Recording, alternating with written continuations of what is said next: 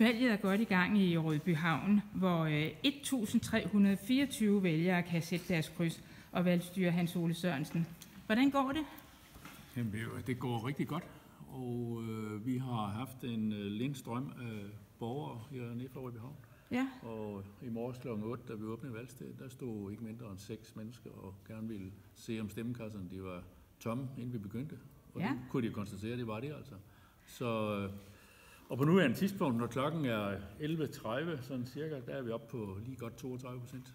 ja fordi øh, sidste folketingsvalg, 18. juni 2015, der havde I Lollands laveste stemmeprocent, 72,6 procent. Gentager det sig i år? Ja, det håber jeg selvfølgelig ikke, men øh, vi er faktisk vant til, at øh, Rødby Havn har øh, generelt en lav stemmeprocent. Men øh, det kunne da være dejligt, hvis Rødby Havn de, øh, kunne springe øh, bundlinjen og så komme op, så ikke det var den laveste i Lolland Kommune. Det håber vi på.